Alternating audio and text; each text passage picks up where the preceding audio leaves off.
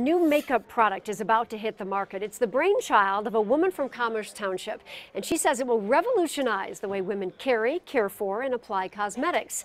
And it's made right here in Michigan. In this Wixom manufacturing facility, they're making one piece of Christina Bellis's new product. Michigan made is a must for this entrepreneur.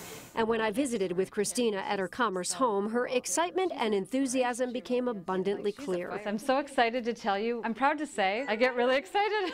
After all, she calls this her baby. So, makeup is a streamlined makeover solution for women on the go. Wait, makeup? It's make cup.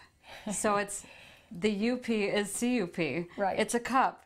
And for makeup. Right, exactly. a closer look reveals there's a lot to this cup. There's a compartment to hold your powder, a quick swivel, and there's a place for eyeshadows and blush. And in the cup itself, all your brushes, eyeliner, and mascara. A simple system that capitalizes on the trend of cosmetic refills to get rid of all this waste.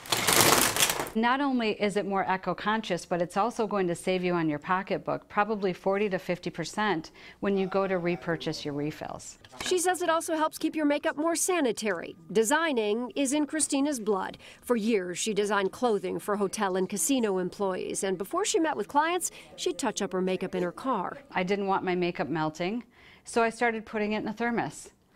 And so I thought, gosh, I'll design something around this. A year and a half ago, she quit her full time job to concentrate entirely on the Make-Cup. I'm going to figure out a way. I'll take my retirement, I'll take some short term investment, whatever I have to do.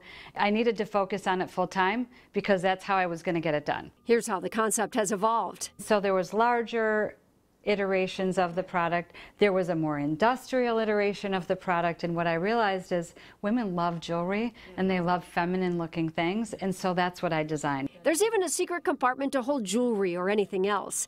The makeup is thermoprotected, so yes, your lipstick won't melt. The product is made of all earth friendly materials in four manufacturing facilities in Michigan.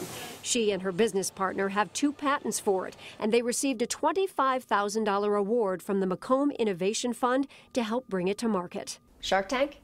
For sure. Oh, really? Yeah.